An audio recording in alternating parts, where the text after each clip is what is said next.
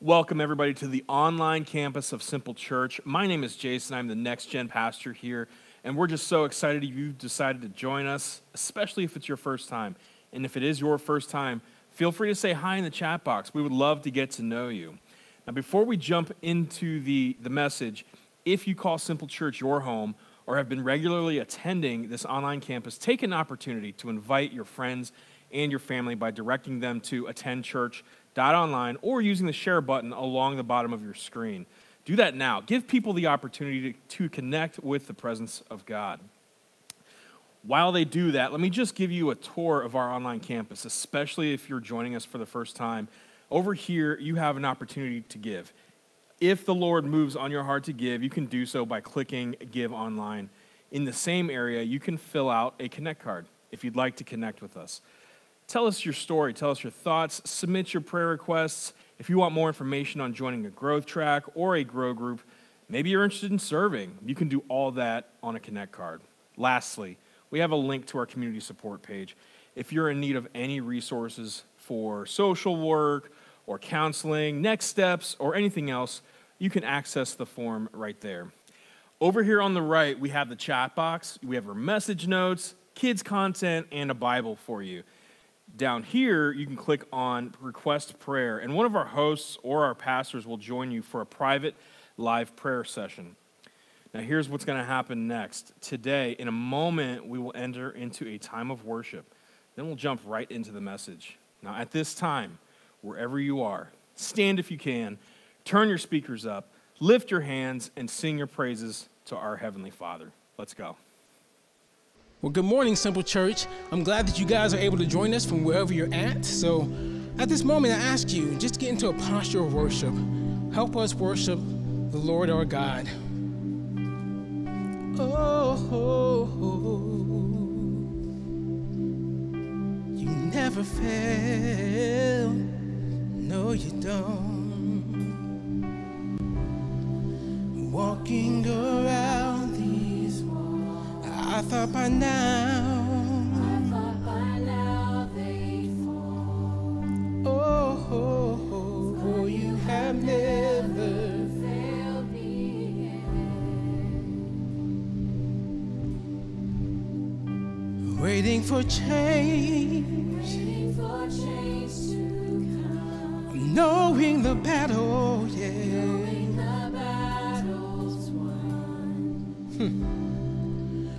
You have never failed me yet. Your promise still stands. Great,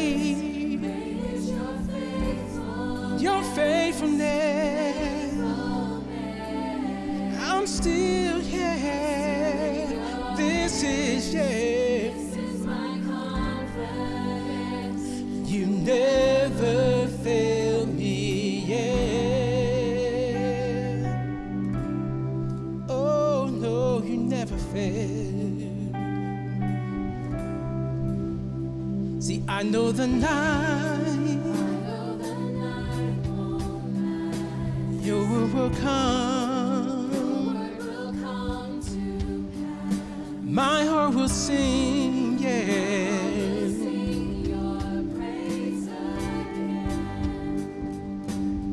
Jesus. sing.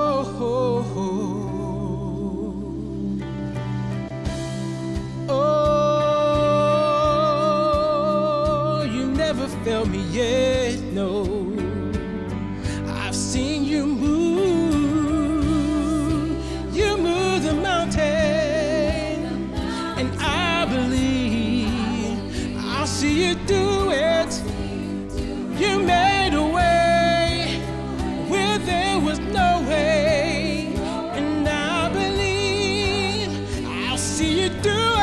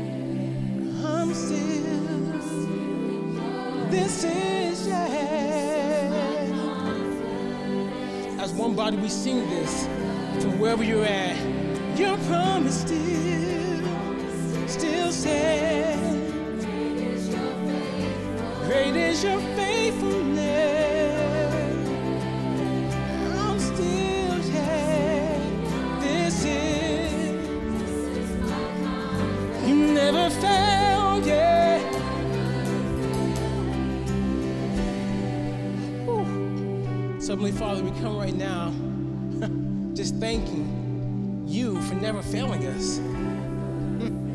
You never fail. And we thank you that you never will fail. We know that you are true. Your word is yes and amen. So we thank you that you come through for us, that your promises, we can hold on to them. We trust you. We love you. In Jesus' name, amen.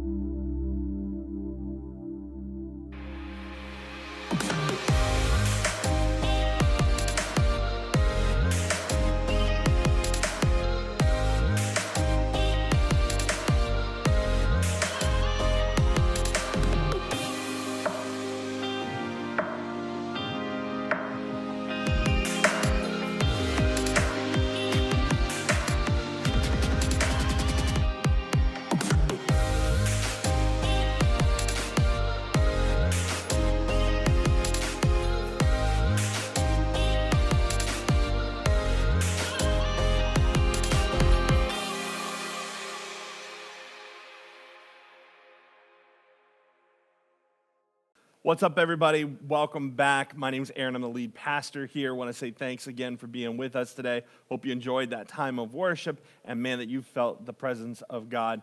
Uh, today, we are, uh, it is like the day after Independence Day. So hopefully, this weekend, you guys have had uh, such an incredible time. Like, I'm, I'm hoping that things are better in your city than they are in my city. And not that things are bad here, it's just that, man, the fireworks are canceled, the parade is canceled. It's just like all the things that we normally do got canceled. And even though things may be canceled, even though the, some of the traditions that you normally do with your friends and your family may be shut down this year, my encouragement to you is to find a way to make this weekend special. Like, go make sure you're connecting with people, make sure you're connecting with your family, your friends, and you do something special because, man, I know this that, that your kids will either remember coronavirus and this season that everything was shut down, or they'll remember how you went the extra mile to make things special during this time.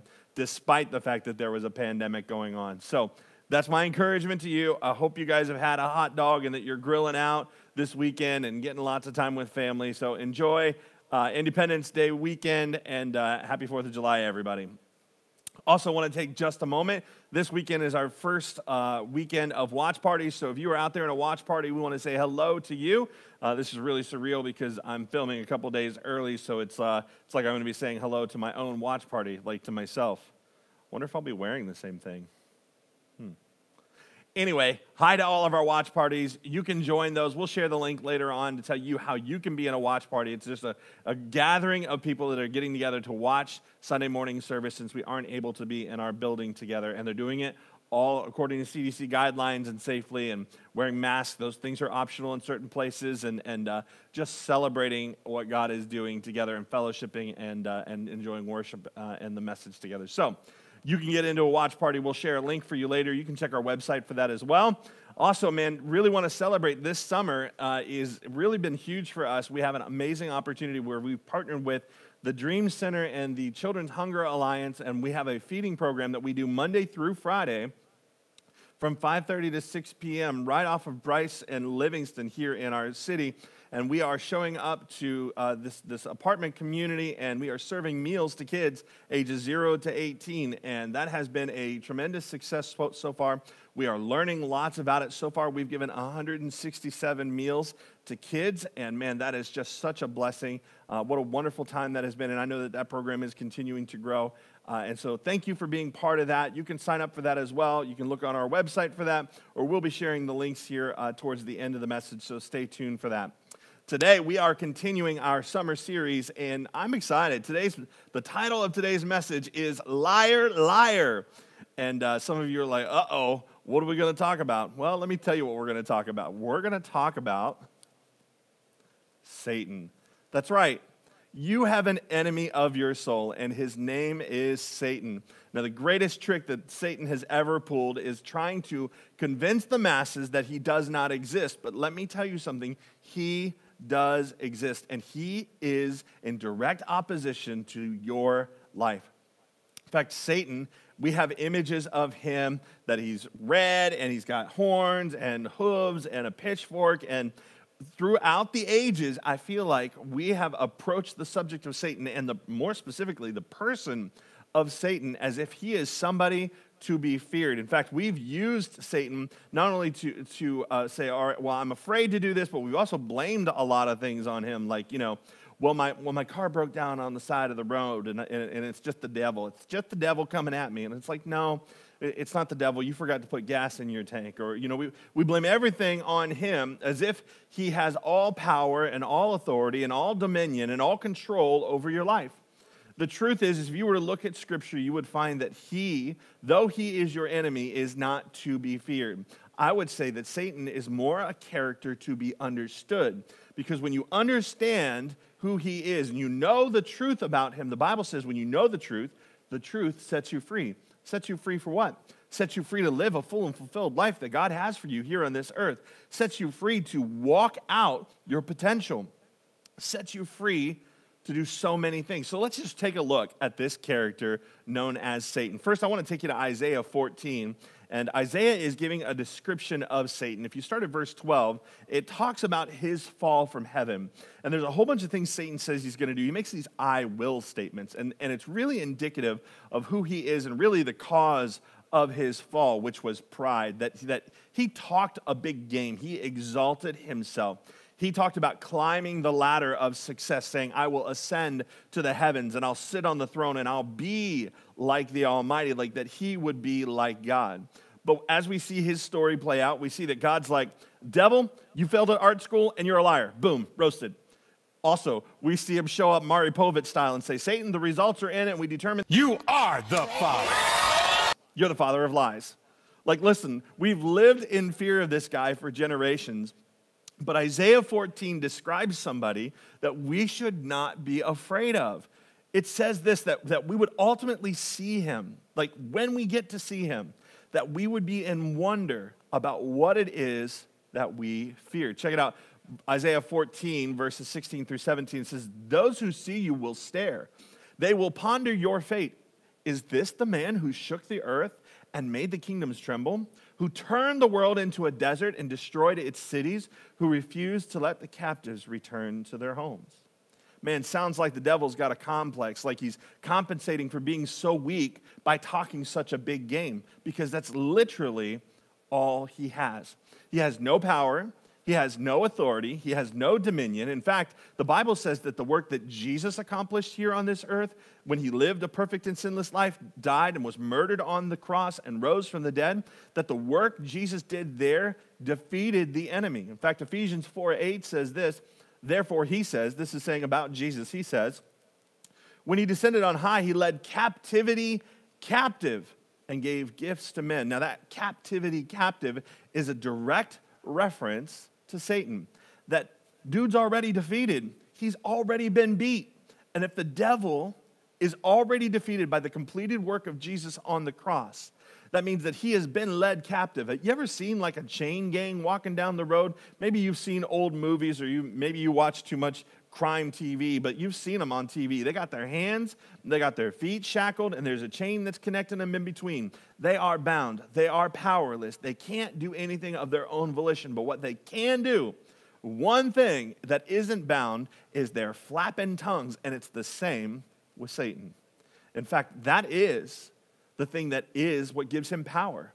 Because it says this in, about him in John 8, 40, 8 44, excuse me.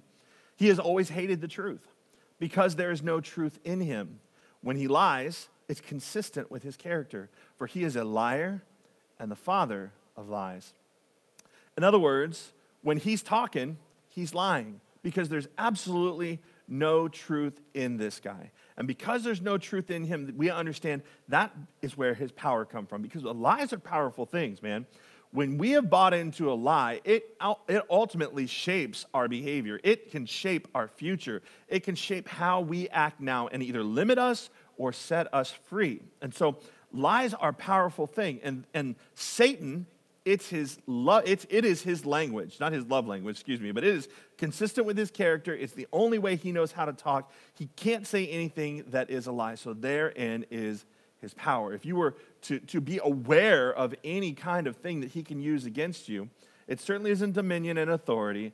It's the power of a lie. You say aaron why would satan want to lie to me? What is his reason behind doing that? Well it's the same reason all of us lie we ultimately lie because we want control. We want control over the outcome of something that is linked to our fear of the potential of the truth being known. See, we fear, and the reason we lie as humans is because we fear, like, if I tell you the truth, if I tell you the truth about what happened, if I tell you the truth about what I said, if I tell you the truth, I'm afraid that I'll lose. I'm afraid that you will. I'm afraid of the consequences. I'm afraid of loss. I'm afraid of pain, so I'm going to lie. And that lie is told in order to control the outcome of a situation. And Satan wants to lie too. The fact of the matter is, the devil is afraid of you. He's afraid of you knowing the truth. Because of the impact that your life can make, because of the potential that you have, he fears you knowing the truth. He fears you knowing the truth about him. He fears you knowing the truth about God. He fears you knowing the truth about yourself. So he lies to control the outcome of your life, to limit your potential. In fact, John 10 10, Jesus talking about him, saying, The thief, this is again talking about Satan, the thief comes only to steal and kill and destroy. And the way that he does that is not that he literally puts his hands on you, not that he literally chokes you out to kill you, or that he can actually rob anything from you. The way that he does those three things is through one method alone, and it's lying. He lies, and he wants to destroy your life. He wants to destroy your, your potential. He wants to destroy your impact. He wants to destroy your relationships, your marriage, all through the power of lies. And there's a couple ways that he lies, and it's the same way that we lie as well we'll, we'll omit the truth. Like, we'll tell part of the truth. Like, I've done that before. Like, like my wife's like, Did you order a pizza? Yeah. How much did you eat? Oh, I had two slices. Truth is, I had four slices, but it also is true that I had two. So I'm omitting the full truth, which becomes a lie. Or we deny the truth, right? So, so Satan will omit some truth, or he'll deny some truth. In other words, that whatever is true, he'll absolutely say the others, the other, the opposite side of it is true. Or we can exaggerate the truth. Like we just, I just told you, we had 167 meals. And I want that to be really, really awesome for you. And I'm tempted to exaggerate the truth and tell you, we've had a million meals served in less than three weeks. Like, I want to tell you that. It's just not true. The truth is, we've done 167 or whatever the number was I just told you a moment ago, right? But, but we tend to omit, we tend to deny, and we tend to exaggerate the truth. And we see these things, three things play out with Satan from the very beginning in Genesis chapter 3 with Adam and Eve. The serpent comes to Eve, and of course, the serpent is Satan in, the, in, the, in that form. And he asks her three questions. He gives her three lies. And she's, he's like trying to get her to eat from the tree of the knowledge of good and evil, and she just won't do it. And he starts questioning and lying to her. He says, Did God really say that? You won't die, which is a total denial of the truth. If she did eat of the, of the fruit, she would die. Uh, and God did really say that. And then he says, You will be like God, which, by the way, for Eve who walked with God, that was an honorable desire, but that's not exactly what he meant, nor is it exactly what would happen. Uh, it's so, so, so he exaggerates the truth, he denies the truth, he omits some truth, and you know what happened from there. Eve, of course, eats the fruit, and then she gives it to her husband. God shows up on the scene, and they're kicked out of the garden because this was the, officially the fall of man. The very first man and woman had sinned, and they, sin had entered into the world. They get kicked out of the garden, and then curse falls on all of creation as a result of it, and then enters our need immediately for a Savior. And what Satan did in the garden, he's still trying to do today.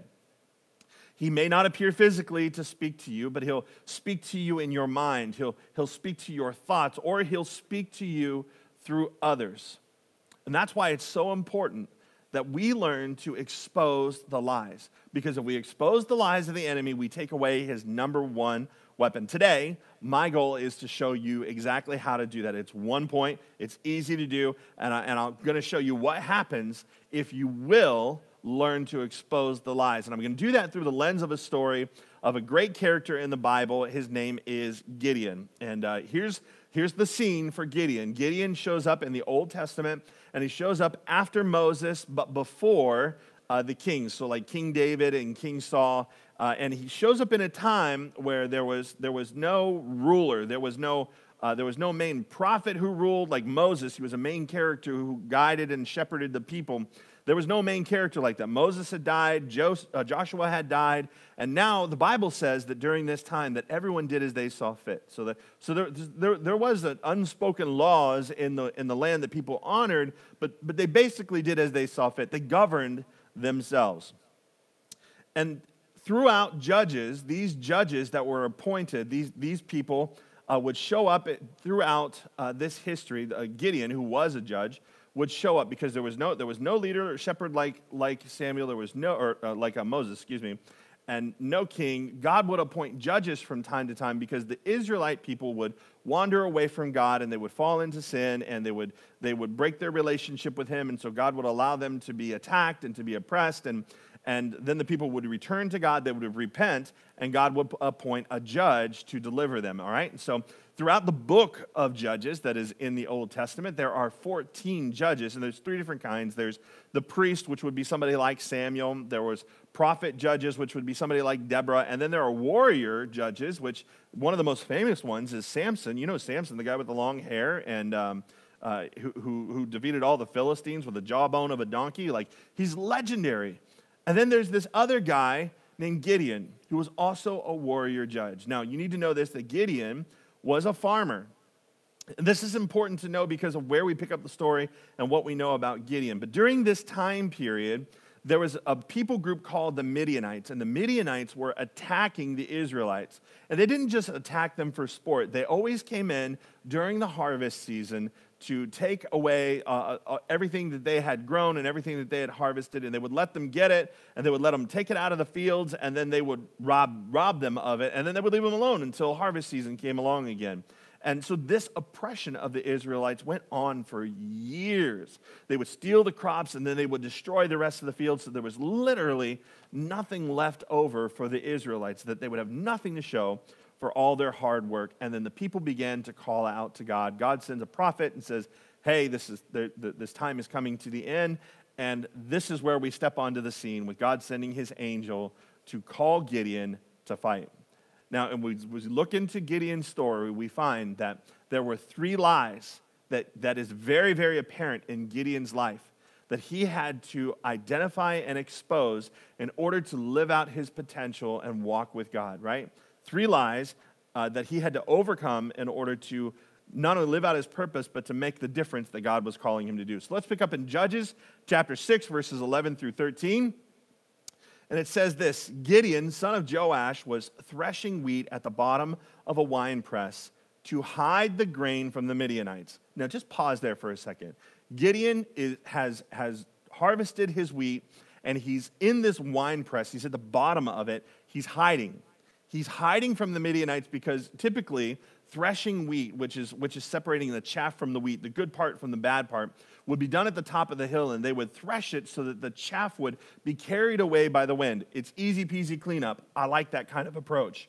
But here's Gideon. He's hiding in a wine press, hunkered down, and he's threshing his wheat so that the Midianites wouldn't see that he, is, that he was threshing his wheat and attack him and take his wine from him. All right, so that's the scene. Everybody is scared, including Gideon. And it says, The angel of the Lord appeared to him and said, Mighty hero, the Lord is with you. Sir, Gideon replied, If the Lord is with us, why has all this happened to us? Good question. And where are all the miracles our ancestors told us about? Didn't they say, The Lord brought us up out of Egypt, but now the Lord has abandoned us and handed us over to the Midianites? So, as we look at that first verse, the very first lie that Gideon has got to overcome if he's going to do what God's called him to do is that God doesn't care for me. See, Gideon believed in the God of the past, the God that did miracles through Moses, that delivered all the Israelites from Egypt and you know, is the one who did all the plagues on the Egyptians that got them convinced to let the, the Israelites go. And then they're the ones that crossed, crossed the Red Sea on dry land and then led them through the, the, the wilderness to the promised land. And, and, and Joshua, who conquered all the tribes in the, in the promised land so that the Israelites could take it over. But he believed in that God. But today, Gideon's looking at his current circumstances. He's living in oppression, and he has come to believe that God didn't care about him. And I don't know about you, but I feel like sometimes we get ourselves in a situation like that. I, I, don't know if it's a health issue where sickness sets in and we see that other people have gotten healed in the past, or maybe somebody you know has come through cancer or come through a situation that you're facing right now, and you're just not. You're, you're, you're still in the middle of that thing. Or maybe Maybe you've got an issue with your kids that you expected to be resolved right now, that it is, has caused a great chasm and a divide between you, and you don't even know why it exists. You can't even remember what caused it, and you want it. You pray for it to end, and it continues to go on without end. Or maybe, maybe, maybe your heart is continuing to break because you long for and desire a child, and it seems like God is withholding this from you. You, you've come to believe God doesn't care about me. Or maybe, maybe, maybe it's your finances. You've worked so hard to put things together and to, to, to save up money, and just stuff keeps happening. Life keeps handing you issues that all the money you've saved up, you keep having to roll out, and your debt isn't going anywhere, and you're just struggling. I think we find ourselves in those situations, and we find ourselves in that season for so long that we begin to believe, we'll listen to the lies that the enemy speaks to us, that God doesn't care about us. And the reason he wants you to believe that is because it ultimately disqualifies you from the kind of relationship that God wants you to have with him, which is comes down to a partnership. See, the relationship God designed for you and I is a covenant relationship in the same way that a marriage relationship is established. We are set up to be partners with each other, to love each other in that way, but it's a partnership. And I believe the devil wants you to feel disqualified from that partnership. And if he can get you to believe that God doesn't care, then he'll win. If he can't get you to believe this one, if he can't get it to sink in, then he'll try another lie. And the second lie that we see here plays out in verses 14 through 15, same chapter 6. It says, Then the Lord turned to him and said, Go with the strength you have and rescue Israel from the Midianites. I'm sending you. But the Lord, but Lord, Gideon replied, how can I rescue Israel? Watch this. Here's the lies. My clan is the weakest in the whole tribe of Manasseh, and I'm the least in my entire family. Now, put a pin in this for just a second. First of all, you need to understand that, that, that God chose a people and he chose a man named Abraham and he said, Through you, I'm going to bless all the nations of the world. Abraham had a son, his name was Isaac. Isaac had a son named Jacob, whose name was later changed to Israel. That's right, that's where we get the name Israelites. The whole Jewish people stem from these guys, from Abraham, all right? And, and so Jacob has many sons, and one of his sons' names, uh, his, his grandchildren's name was Manasseh. Well, Manasseh becomes what they called like a half tribe, all right? A half tribe of Israel. They're honored as a half tribe since Joseph's family was not, all right? That's a big, long history there, but you just need to know it was a tribe of Israel, all right? So there's a family group of Israel. And for whatever reason, Gideon believed that his family, his clan, was the weakest. Now, you have to know that outside voices are the ones that spoke that over him. That maybe at some point in time they said, you know, you're a DeLong. You're never going to amount to anything. Or that your family is from the wrong side of the tracks. Or that what your grandfather did has given you like a burden to bear for the rest of your life, almost like a curse. Or you're a, you come from a long lineage of alcoholics and you're never going to be free from alcoholism. You're going to make the same mistakes your parents have made. That, that for whatever reason, somebody has spoken something over you because of your family. And Gideon ultimately believed a lie about his potential due to outside voices about his family. But this problem goes deeper than that because look at the second thing he believed about himself. The second lie he believed due to the voices within his family was that was this, I am the least. I am the least of my family. He said, My clan's the weakest in the whole tribe of Manasseh, and I'm the least in my entire family. Man, that's painful. Because I think every single one of us can identify with a family member or somebody really close in our lives who said something just like that to us. And it became something that defined us. It became something that we believed. It was a lie that was spoken over us. Maybe they spoke it out of, out of anger and or some other kind of emotion, or maybe, maybe they spoke it because nobody ever talked nice to them and they didn't know how to be very loving. Like, whatever the situation is, they spoke something over us that has become a label that we've put on our life that ultimately has disqualified us. Maybe they said something like, You're nothing, or I wish you were never born, or you're stupid, or you're too dumb, or you're too whatever, fill in the blank, that you'll never fill in the blank. We come to believe that we are weak, stupid, and incapable because of something somebody close to us said about us. We all carry hurts from these kinds of lies that are spoken over us. And I believe the devil wants us to believe this lie because they disqualify us from our potential. That's right. And they, the big lie that we believe here is that God can't use me. And this is what Gideon had to overcome. The devil's going to try to rob you by lying to you of your partnership and your potential. And if this won't stick, he'll try another lie. Check it out Judges chapter 6, same chapter, verses 17 through 18. Gideon replied, If you're truly going to help me, show me a sign to prove that it was really the Lord speaking to me. So, what Gideon does is he gives an offering. There's this angel sitting in front of him, which, by the way, that's a freak out moment as it is. Like the Bible tells us that when angels appeared on the scenes, they were, they were terrifying. And here Gideon is just offering. He's not even scared. He's not afraid to push back because he's so deeply ingrained in these lies. And so he says, All right, I'm going to test you a bit. And he says, Give me a sign. So he prepares a meal and he puts it on a rock in front of this angel. And the angel takes his staff, touches it, boom, the thing goes up in flames. And in this moment, Gideon has realized, Holy cow, I've had an encounter with God. And, and I think that's what we all need at some point in time to shake us out of the fog of the lies that we believed is to have an encounter with God. That's why we do our worship services. Even though we're not meeting together, we still have these online services because we believe that no matter where you are, the power of God will meet you right there in your house. We had that happen this past Sunday during one of our worship sessions, man. We were just sitting around some musicians and singers and just worshiping God. We had it broadcasted live out, and we had a woman uh, from another country respond, man, dedicate her life to Christ and say, I'm, I'm Jesus, I'm coming home. Like that's a, that's a short summarization of it, but I'm telling you, the power of God transcends this very building and will meet you right where you're at. We need an encounter with God, and Gideon got one, man. He got one. The fog was lifted from his eyes. And, uh, and all of a sudden, he, he starts freaking out. He thinks he's going to die. He's like, I'm undone. This is, this is crazy. And he becomes very zealous after this encounter with God. And he realizes, holy cow, there's a lot of people around me that are not worshiping the, the uppercase G God. They're worshiping a lot of lowercase g God, which is just the, the made up gods of the people, of the culture, of the land. And he goes around and he, and he starts ripping down these, these altars that were built to a lowercase g god named Baal, and another thing called Asherah poles, which were, were, which were believed that if you put these poles up, then, then you'd have a, a fertile harvest and, and, and that your women would bear children. It means exactly what you think it means, by the way. And, uh, and he rips all these down. And during this time, what happens is that the Midianites are now invading. Why are they invading? Well, it's, it's harvest season, okay?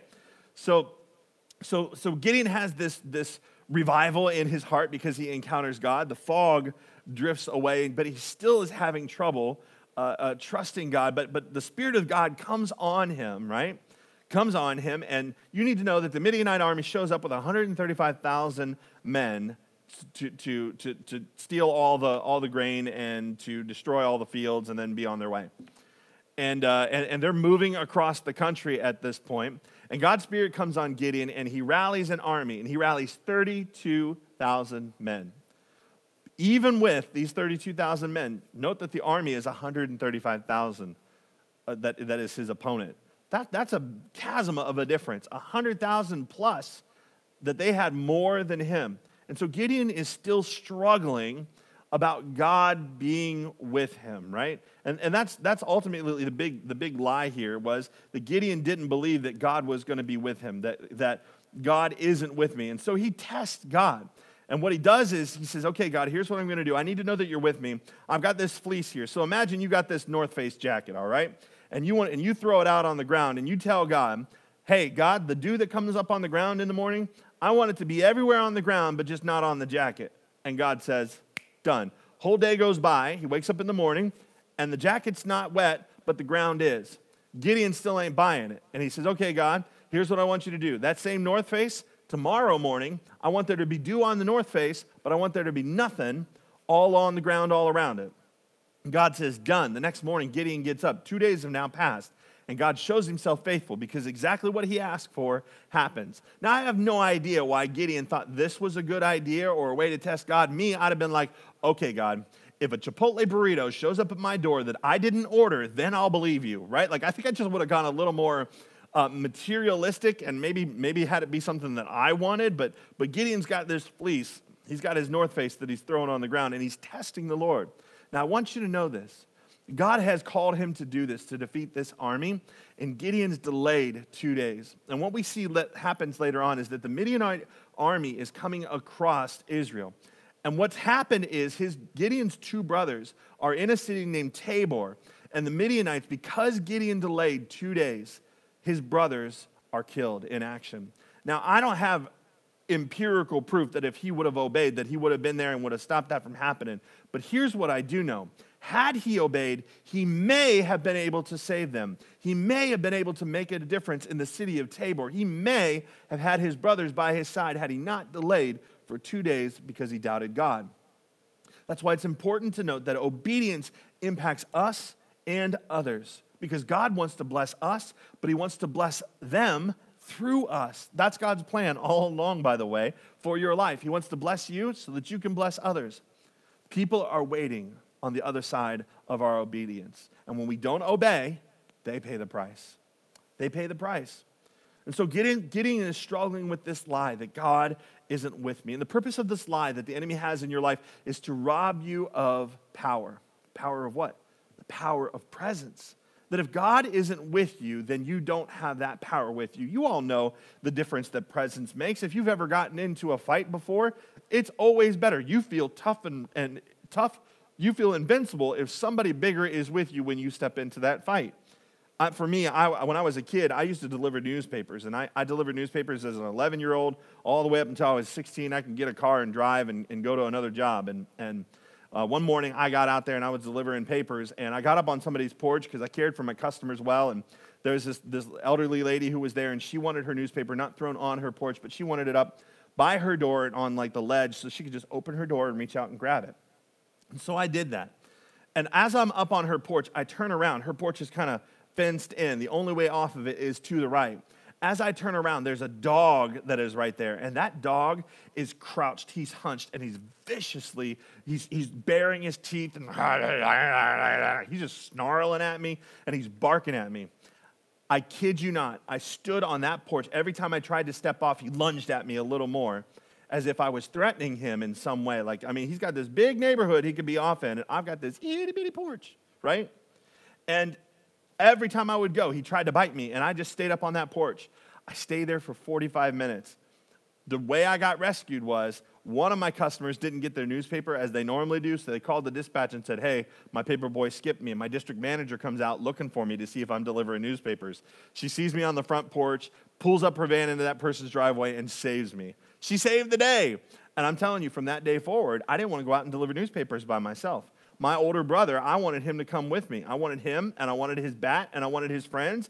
I wanted presents because I was, I was hoping the next day my brother's walking with me. I'm, I, I wish that dog would show up. I wish he would. I wish he'd bark at me and snarl at us. We're going to beat him, right? Like, there's power in presence. And the enemy doesn't want you to experience the power of God's presence in your life. Because, man, we're not just talking about the power of presence of a brother or a friend. We're talking about the power and presence of the Almighty God. So Satan's going to try to rob you through his lies of your, the, of your potential partnership or of your partnership, of your potential and power. And here we see in this story, as we look at it, Gideon overcame all three of these lies. He, he overcame the fact that he, that he believed God didn't care, that God couldn't use him, and that God wasn't with him. And the way he did it, here's the key it's one point. The only thing you need to remember today is that he decided to speak God's truth. He decided to believe what the angel had said about him, what God had said about him. The first truth, truth that he chose to believe was that you are mighty. You are mighty. Look at this. Uh, Judges 6, verse 12 and verses 14. It says, The angel of the Lord appeared to him and said, Mighty hero, the Lord is with you. He didn't call him a coward. What are you doing in the wine press? He said, Mighty hero. See, God sees you as you are and as you will be, not, not as you feel you are right now, not as what you've been labeled as. God sees you and your potential, and He calls you by that name. And He called him Mighty Hero. The Lord is with you. Verse 14 Then the Lord turned to him and said, Go with the strength you have and rescue Israel from the Midianites, for I am sending you. Listen, God's called you too. He's called you to do the same thing, to do something for his kingdom, to make a difference in the lives of others so that they can know him. And as a Christ follower, each of you has strength.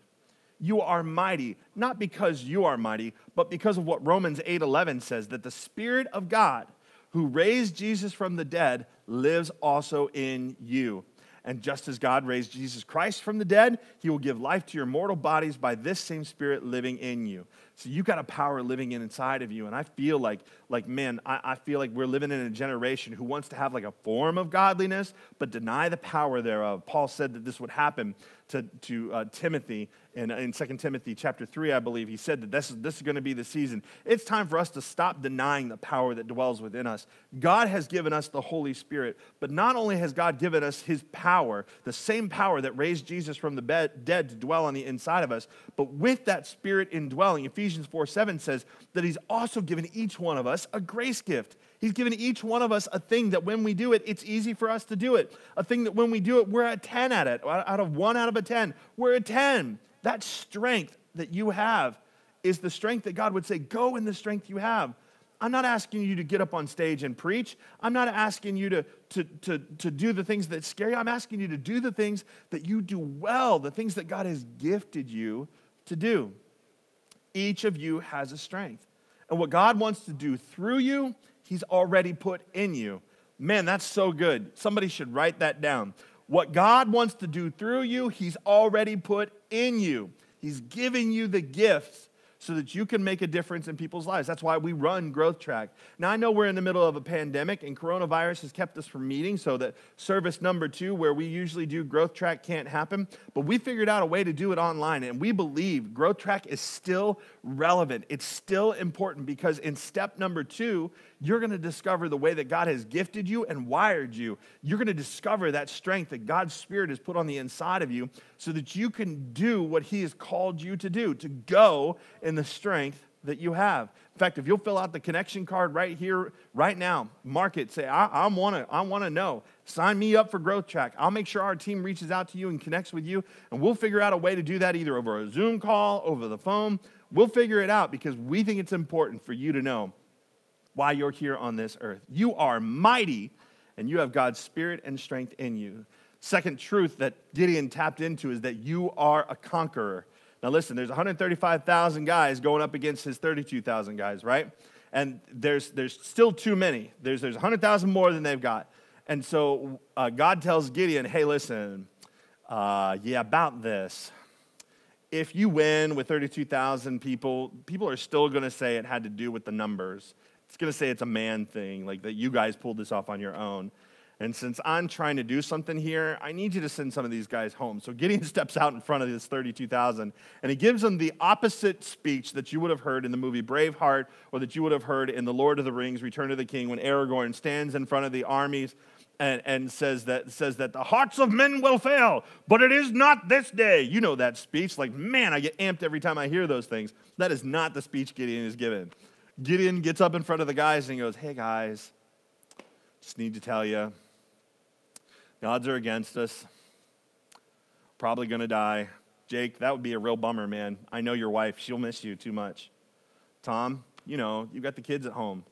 Like, this is probably not to go well for any of us. So if you're afraid, you can go ahead and go home. what happens is, is 22,000 of the 32,000 leave. They go home. So Gideon's got 10,000 left, right? Remember, he's tapped into this. I'm a conqueror. I'm believing. I'm mighty. I'm a conqueror. But he's got 10,000 left, and God tells him, You still got too many. He, he says, so, so if you win, people will still boast that, that man did it, not God. You need to send more of these guys home. Here's how you do it take them down to the water's edge and tell them to drink. And uh, gonna, they're going to drink two ways. Some of the guys are going to scoop water up into their hands, and they're going to lap it like a dog. So, right, a dog licker. Um, um, um, that's how they're going to get the water. And then others of them are going to go to the water, and they're just going to put their faces down there, and they're going to drink. They're going to put their mouths in the water. What, mouths? Oh, sometimes I talk good. They're going to put their mouths in the water, and they're going to drink. And God said, What I want you to do is keep the dog lickers. Keep, keep those guys that are scooping, because when they scoop, think about this. Like we're rationalizing this, this makes sense.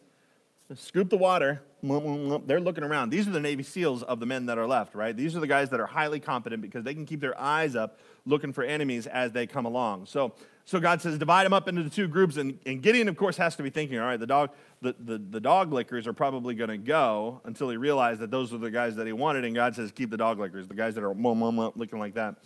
So that's what he does. Gideon had 10,000 when he started, or when he started this water's edge. 9,700 went home, left him with 300 guys left. And in Judges 7 7, the Lord told Gideon, With these 300 men, I will rescue you and give victory, uh, give you victory over the Midianites. And I don't know about you, maybe you've been in a situation like that. Maybe you don't feel like a conqueror. Maybe it doesn't look like you are currently conquering your situation. And if you continue to look at your situation and your circumstances with your natural eyes, that would probably be the truth. But as Christ followers, we're called to a life of faith, and we're called to look through the eyes that God has, and we're called to look at, at the situation through the truth that he has said about us. And in Romans 8:37, this is what he said about us. Paul said, "No, in all these things we are more than conquerors through him who loved us." That because we're in Christ, because we're Christ followers, we are conquerors no matter the odds, no matter the circumstances, no matter how long it's been going on, no matter what the doctor said, no matter how bad you've been hurt, no matter what they said, no matter who you've been in the past, no matter the mistakes you've made, you are not disqualified from God's partnership, your potential, and His power. You're just not. The Spirit of God dwells on the inside of you, and therefore, you are mighty and you are a conqueror.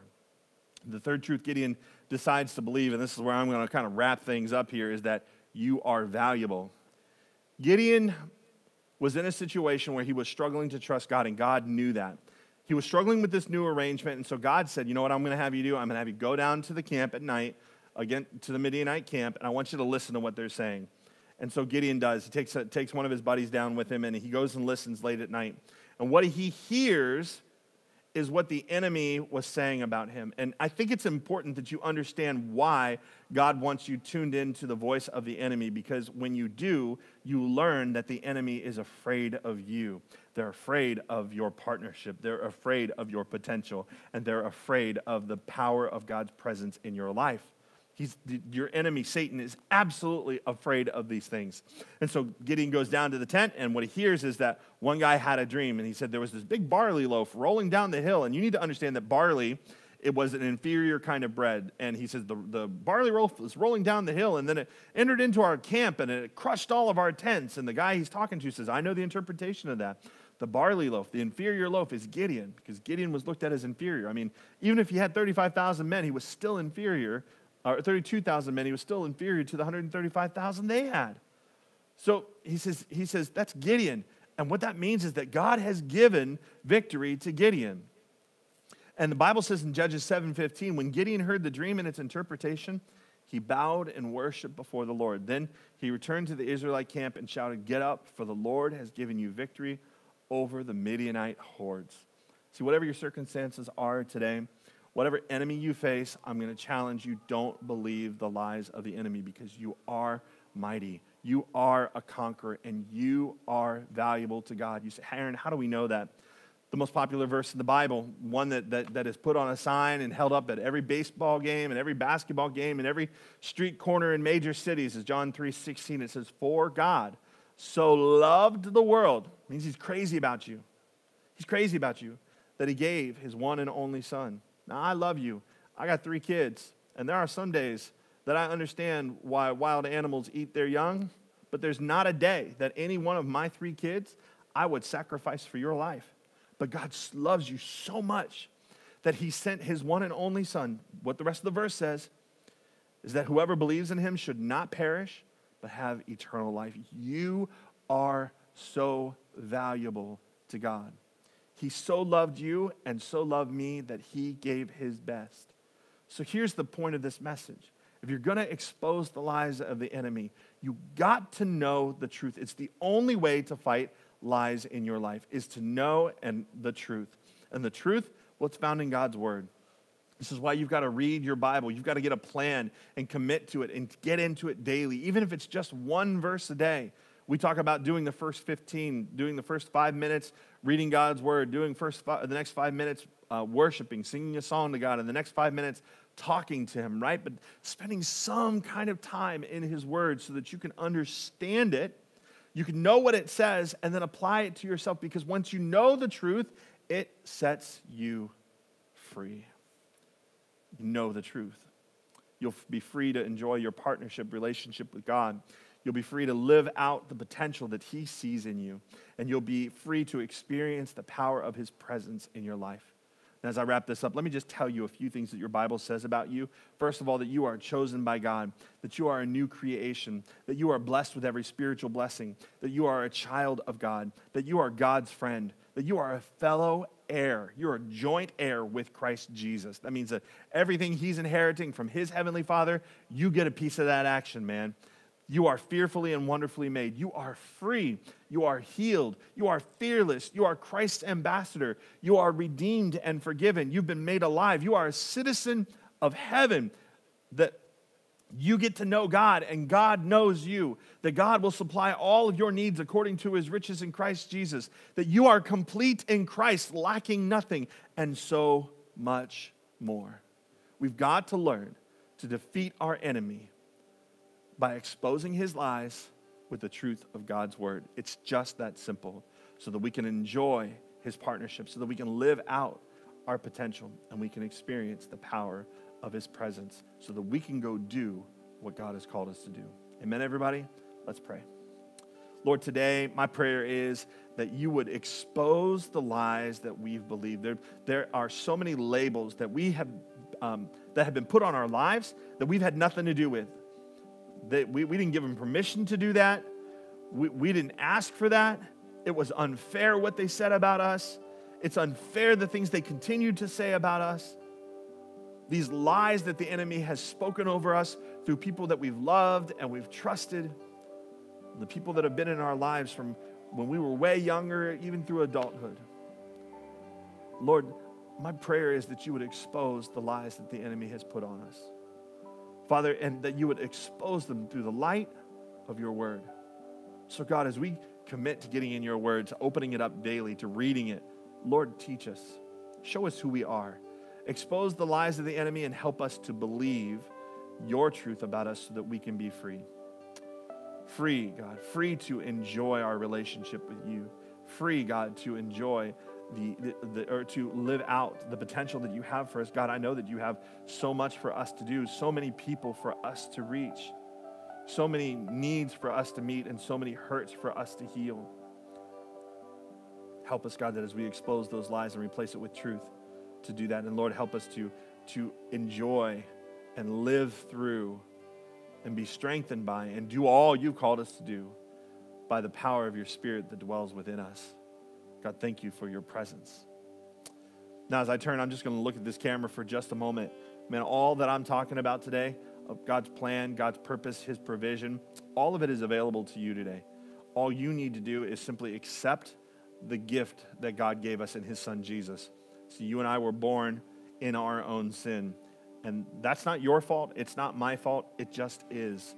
Since Adam and Eve fell from the beginning of time, every man and woman has been born with a sin nature, and that sin separates us from a very holy and perfect God.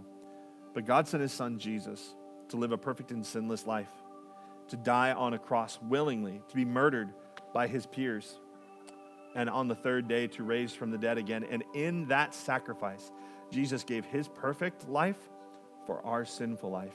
He paid a price that you and I could not pay on our best day. And with the totality of our life, living as good people as we could possibly live, we still couldn't pay for our sins. In fact, the Bible says that the wages of sin, or what we earn for our sin, is death. And that death being an eternal separation from God. That the way we pay back, pay God back, and make up for our sins is by eternity and separation from Him. And that's not God's plan for you, it's not His purpose for you. In fact, we talk about heaven and hell, and I believe that the only people that are going to go to hell are people that insist on paying for their sins themselves. The truth is, is God gave his son Jesus to pay for our sins. With his life, that single death, when he shed his blood there and died on that cross, he made a way for you and I to be forgiven, to, for us to be made new creatures, for us to be restored into relationship with God. And if you're ready to accept that gift, that's all you have to do. You don't have to pay for it, work for it, nothing you got to do. There's work God's called you for, there's work He's got for you to do, but salvation is free, my friend. There's no amount of work that you can do to earn this. Jesus paid it all already. And all you have to do is simply receive it. To say, Jesus, be Lord of my life. I'm going to trust you with all that I am. I'm going to trust you with my life. I'm going to live life the way you tell me to. And so, if you're ready to do that right now, I'm going to pray this prayer and I want you to repeat after me. But before you do that, if you're here in our online campus, click that banner on your screen that says, I'm raising my hand right now to say yes to Jesus. Do that now. Be bold so the rest of us can see that you're making a commitment. We're going to celebrate with you anyway. So, do it. Push the button, raise your hand, and say, Pray this prayer after me. Say, Jesus, I need you. Forgive me of my sins. Make me brand new. Show me how to live for you. Fill me with your spirit. Today and every day hereafter, I want to enjoy you, knowing you, walking with you. Thank you, Jesus. Amen. Man, if you prayed that prayer today, we are so excited for you. I know that people in the chat rooms are, are whooping and hollering and uh, are, are, are cheering you on as well. Thank you so much for, on this Independence Day weekend, making a commitment to follow Jesus.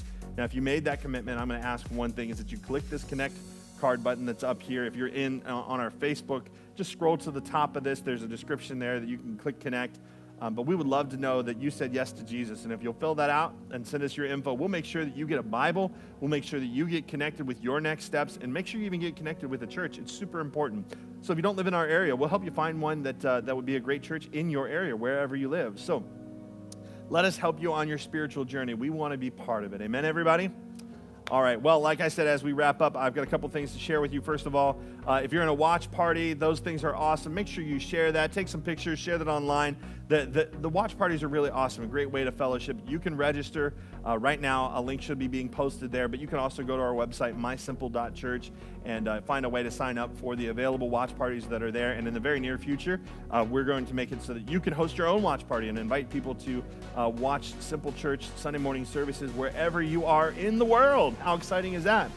Uh, also, want to remind you, the feeding program is still going. We'll go through the end of the summer, and we need people, three people a day, to help us serve those kids. And uh, so the uh, registration for that is, of course, on our website, but it's being posted now in each of our chat boxes. You can click that link, find a date that's available, and you can register. Make sure you register because if you try to show up uh, here at the church, we don't serve here at the church. We actually serve on site in that community, and signing up gets you an email that will tell you everything you need to know about where to be and what time to be there. So, having said that, I love you guys so much. I hope you have an incredible week. I love you, love you, love you. Happy Independence Day weekend. And we'll see you right back here for a continuation of our summer series next Sunday. God bless you. Are you still here? Holy cow. Man, I almost let us walk away without taking uh, one of the greatest opportunities we have to uh, demonstrate our love and worship to God, and that's through our tithes and offerings. And so, let me just say this. I've already given you announcements. I even said go ahead and go, but let's hope you're still here. And uh, thanks for hanging out. There are ways to give right here on this screen popping up in front of my face.